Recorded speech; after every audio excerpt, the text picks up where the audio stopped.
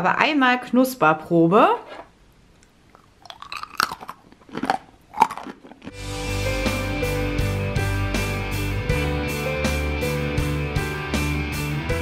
Hallo meine Lieben und herzlich willkommen zu meinem letzten Video im Jahr 2019.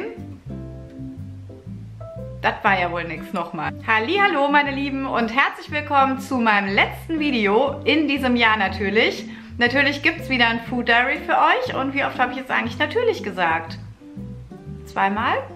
Geht ja noch. Hört sich trotzdem irgendwie doof an. Hallo ihr Lieben, herzlich willkommen zu meinem letzten Video in diesem Jahr. Es gibt natürlich wieder ein Food Diary für euch. Und bevor ich es gleich vergesse, ich wünsche euch auf jeden Fall morgen oder ab morgen schon mal super, super schöne Weihnachten. Habt ein paar ganz, ganz tolle Tage mit euren Lieben. Genießt die Zeit und kommt auch ein bisschen zur Ruhe, wenn ihr die Möglichkeit habt. Vor allem gönnt euch auch was Leckeres. Denkt dran, ich sag's ja immer, man nimmt nicht zwischen Weihnachten und Neujahr zu, sondern zwischen Neujahr und Weihnachten. Insofern genießt die Leckereien. Abnehmen und durchstarten können wir alle wieder ab Januar. Da gibt es wieder hier jede Menge Motivation für euch. Ich kann euch nur sagen, wie ich das mache die Tage über. Das müsst ihr nicht genauso machen, aber ich werde es mir auf jeden Fall richtig gut gehen lassen. Werde auch nicht Low Carb essen, sondern ich habe ja auch leckere Plätzchen gebacken und es gibt super schöne leckere Sachen überhaupt zu essen an Weihnachten. Also ich werde da auf jeden Fall nicht drauf verzichten und freue mich da riesig drauf. Jetzt ist 2018 auch schon fast rum und ich möchte euch an der Stelle auch nochmal ganz, ganz fett Danke sagen für ein super tolles Jahr hier mit euch. Es macht mir wirklich jede Menge Spaß. Ich freue mich schon riesig aufs Jahr 2019 mit euch, wünsche euch an der Stelle auch schon mal einen super guten Rutsch. Feiert wie gesagt schön Weihnachten, feiert schön Silvester, lasst es euch einfach gut gehen. Wir sehen uns dann auf jeden Fall in 2019 direkt wieder. Nächste Woche Sonntag kann ich euch jetzt gerade schon mal Bescheid sagen. Wird nämlich ausnahmsweise mal kein Food Diary online kommen, denn ich gönne mir auch mal so eine Woche komplett Urlaub. Mal gucken, vielleicht werde ich das ein oder andere mal mitfilmen an Weihnachten, weil euch ja vielleicht auch interessiert, was es so Leckeres gibt. Und mal gucken, da schneide ich euch dann vielleicht ins Jahr erste Food Diary 2019 irgendwie mit rein. Habt auf jeden Fall jetzt ganz, ganz viel Spaß mit dem Video. Ich sage schon mal lieben Dank fürs Zuschauen und bis nachher. Tschö! Guten Morgen oder guten Mittag. Heute ist der dritte Advent. Wir haben bereits mittags. Liegt daran, ich habe gestern so unheimlich viel gefuttert. Ich habe also jetzt erst Hunger. Habt ihr vielleicht im letzten Food Diary gesehen. Deswegen gibt es quasi erst jetzt Frühstück. Und ja, das kennt ihr wahrscheinlich in- und auswendig, ne? Kokos-Soja-Joghurt mit Himbeeren, Heidelbeeren, Sesam, zuckerfreien Schokodrops, zuckerfreier Schokosoße, zuckerfrei, zuckerfrei. Die Sachen habe ich euch mal in der Infobox auch verlinkt. Ja, das werde ich jetzt futtern und dann werde ich mich nachher auf den Weg machen nach Nürnberg und schlepp euch logischerweise mit. So, gleich geht's los und vorher muss nochmal ein kleines Riegelchen hier dran glauben. Jo, da sitze ich dann im ICE über Frankfurt nach Nürnberg. Da musste dann noch ein Riegel dran glauben. Hier einer meiner Liebsten mit Peanut. Und hier habe ich euch mal das Hotel gefilmt von außen. Das war direkt in der Nähe vom Bahnhof. Das war wirklich ein mega, mega schönes Hotel. Vor allem auch alles total weihnachtlich geschmückt. Ja, und dann zum Christkindlmarkt ging es nicht an dem Tag, weil es hat auch voll geregnet, sondern wir waren im Blockhaus lecker essen. Da gab es dann für mich ein kleines Steak mit einem Salat dazu. Und hier bin ich jetzt beim Frühstück. Das war auch wirklich ein richtig tolles Frühstücksbuffet, was wir da hatten. Natürlich wird erstmal mit Kaffee gestartet, logisch. Und dann habe ich mir hier noch verschiedene Sachen geholt. Ihr seht es ja, Lachs, Käse, ein bisschen Wurst, Gemüse, Rührei gab es dann auch noch. Vor Mittagessen habe ich euch Fotos gemacht. Da war es mir zu peinlich zu filmen. Ja, da hatten wir auch Buffet und da habe ich mir auch, wie ihr seht, ein Stück ähm, Räucherlachs geholt, ein bisschen Rucola-Salat und Hähnchen und Quark. Und danach gab es dann noch Truthahn-Curry. Das war super, super lecker. Das sieht jetzt relativ klein aus, die Portion. Ich war aber insgesamt dreimal dran. Kann man mal machen. Hello. So, mein Termin ist jetzt durch. Ich esse jetzt erstmal einen Riegel. Eigentlich wollte ich ja noch auf den Christkindlmarkt hier. Aber das Wetter ist total mies. Ich werde mal gucken, ob ich da heute Abend noch hinstiefel und ob ich noch was anderes futter. Das Wetter war leider wieder ziemlich bescheiden, aber ich bin trotzdem einmal kurz über den Christkindlmarkt und habe mir da standesgemäß eine Bratwurst geholt mit Sauerkraut und Senf drauf. War super lecker. Ja, und zum Frühstück gab es dann wieder für mich Rührei. Und diesmal ja so ein bisschen, ja so eine Wurst, Käseplatte, auch noch ein bisschen Quark dabei. Frischkäse, danach gab es noch Quark mit Obst und Nüssen Und ja, hier seht ihr nochmal was Kaffee und wie ihr seht, die Kanne war leer. Pech gehabt. Ja, auf dem Rückweg Hashtag Riegelopfer, mal wieder ein Peanut-Riegel und danach noch einen Peanut-Riegel, aber diesen anderen, ne? Diesen Protein-Nut 2, die sind ja beide ganz, ganz lecker. So, endlich wieder zurück an heimisches Herd. Gibt Auflauf mit Bolognese, für Mann mit Nudeln, für Frau Low Carb mit Rosenkohl. Kocht hier gerade. So, Dele, dann haben wir hier einmal Rosenkohl, die fertigen Nudels und die Bollo, die wird jetzt fleißig aufgeteilt. Natürlich noch ordentlich Käse drüber und dann kommt das jetzt in den Ofen und wird überbacken. Ach, ich freue mich, endlich wieder selbst gekochtes. Mmh, lecker. Und wo geht's damit wieder hin? Beziehungsweise wo sind wir wieder? Auf dem Sofa. Es ist doch jetzt jeweils noch die Hälfte übrig geblieben. Also nicht von dem, was auf dem Teller war, sondern was in der Auflaufform war. Das gibt es dann wohl morgen. Und ja, aber so ein bisschen Hüngerchen ist noch da. Deswegen gibt es noch einen Schokoladenpudding. Moinsen, das gibt es heute zum Frühstück. Griechischer Joghurt mit, naja, ihr seht's ja, ne?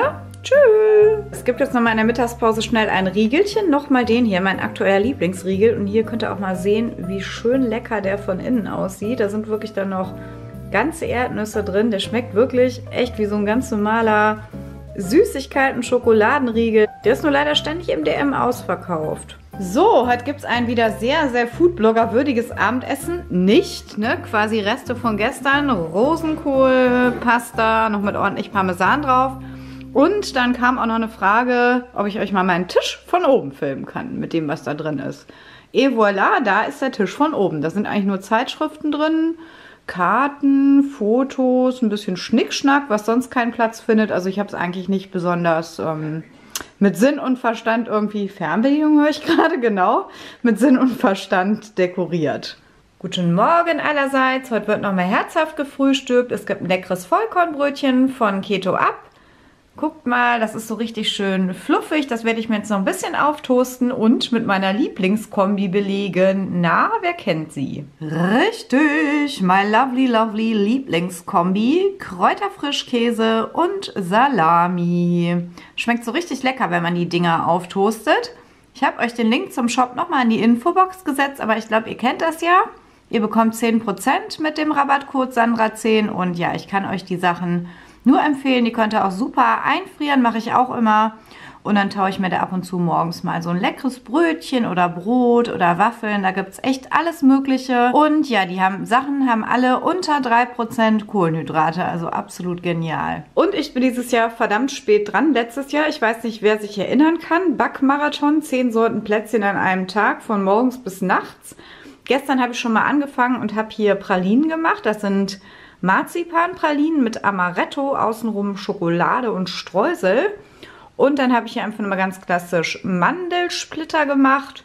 Ja, und Plätzchen, die sind auf jeden Fall auch noch heute Morgen oder ja, logischerweise vor Heiligabend dran. Und zum Mittagessen gibt es jetzt hier einen High-Protein-Vanilla-Pudding. Ich war heute Abend mit meinen alten Kollegen auf dem Kölner Weihnachtsmarkt in der Altstadt verabredet. Die Kamera habe ich da nicht mitgenommen.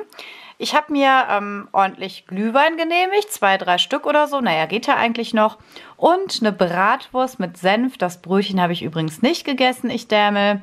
Und hatte danach im Brauhaus noch eine Frikadelle. Habe ich ganz vergessen, ein Foto von zu machen. Guten Morgen. Gestern kam auch noch eine kleine Überraschung von Keto ab. So zur Weihnachtszeit fand ich voll lieb. Hier nochmal so eine Low-Carb-Waffel. Die habe ich schon probiert beim letzten Mal. Die ist echt super lecker. Dann haben wir hier so einen äh, Gewürzkuchen. Da habe ich übrigens gestern Nachmittag noch die Hälfte von gegessen. Schmeckt auch super. Auf die Nudeln bin ich total gespannt. Ich werde es euch wissen lassen, wie die schmecken. Und dann ist hier noch ein Low Carb Toastbrot und da werde ich auf jeden Fall gleich was zum Frühstück futtern. So seht ihr nochmal das Toastbrot von innen. Das sieht richtig gut aus, auch schön fluffig. Und wie gesagt, mache ich mir davon jetzt mal direkt was zum Frühstück. So, das gibt es jetzt also zum Frühstück. Zwei Scheiben habe ich mir getoastet, wieder mit Lieblingskombi, ne? Salami und Frischkäse. Hier das Eckchen war noch übrig, das gibt es also auch noch. Den Rest habe ich übrigens eingefroren, scheibenweise. Und das gab es im Adventskalender und das gibt es eben jetzt auch noch dazu. Eine Lindkugel und ein kleines Mini-Kinder-Country ist es, genau. Mmh. Schmeckt wirklich auch super lecker. Und das gibt es jetzt für mich direkt zum Mittagessen. Den leckeren Gewürzkuchen mit Mandeln und Schokolade. Und dazu ein großes Tässchen Kaffee. Hier ist schon mal die erste Fuhre. Das sind meine Vanillekipferl. Insgesamt zwei Bleche, die kühlen gerade ab. Und jetzt bin ich am Spritzgebäck dran. Lecker! So, nächstes Spritzgebäck. Das gibt insgesamt vier Bleche. It's Pizza Time. Ist ja auch super praktisch, wenn der Ofen eh schon die ganze Zeit läuft. So, ne? Und das gibt es jetzt zwischendurch. Eigentlich ist es ja gar keine Pizza. Das ist die Litza. Die kennt ihr bestimmt mit dem Low Carb äh, Pizza Bodenteig. Einmal ist die belegt mit Lachs und einmal mit scharfer Salami und bei beiden mit ordentlich Käse. So, und die letzten für heute, die müssen jetzt noch ähm, ein bisschen fest werden. Da kommt da noch Puderzucker drüber und morgen früh zeige ich euch dann mal alles komplett. Guten Morgen. So, hier seht ihr jetzt nochmal alles auf einen Blick, was ich äh, gestern und die letzten Tage so gemacht habe. Heute geht es dann noch weiter. Also, wir haben ja einmal das fertige Spritzgebäck mit und ohne Schokolade. Dann die Spitzbuben, die mag ich super, super gerne mit Marmelade. Meine Vanillekipferl, die gehen doch sowieso irgendwie immer. Hier sind noch ähm, Marzipankugeln mit Amaretto drin, Schokolade und Schokostreusel. Und dann haben wir hier noch ganz einfache Mandelsplitter. Heute kommen dann noch Nussplätzchen dran und ich wollte noch gebrannte Mandeln machen. Und das gibt es jetzt erstmal zum Frühstück. Griechischer Joghurt mit Beeren und zuckerfreien Schokoladendrops in weißer und Vollmilchschokolade.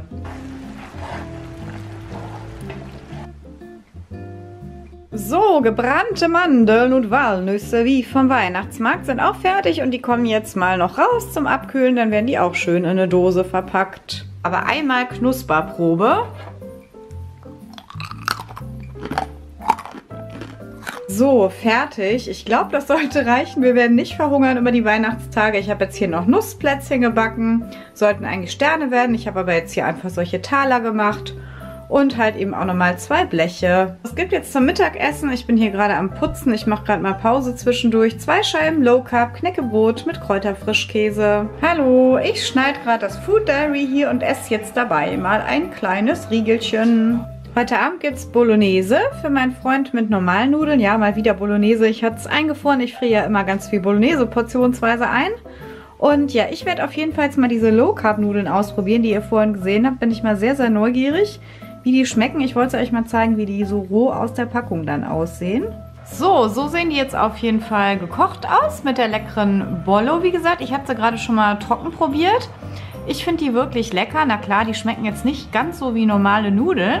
Aber für so Low-Carb-Nudeln total super. Ich blende euch jetzt hier auch gleich nochmal eben die Nährwerte ein. Also auf jeden Fall total cool. Ich habe jetzt ähm, genau die Hälfte genommen, also 105 Gramm. 195 Kalorien und auf 100 Gramm 1,0 Gramm Kohlenhydrate ist wirklich der Hammer. Ach so, böser Fehler, Parmesan vergessen. Da kommt natürlich noch eine, naja, ganz kleine Menge obendrauf. So, und die sind das übrigens hier, ne? Ist alles in der Infobox verlinkt. Wie ist da Bescheid? Noch kurzer Nachtrag, also die sind echt lecker, aber sie sind so etwas trockener als normale Nudeln, also solltet ihr auf jeden Fall ein bisschen mehr Soße einplanen. So, aber jetzt ist eh nichts mehr mit Low Carb, jetzt ist Weihnachten.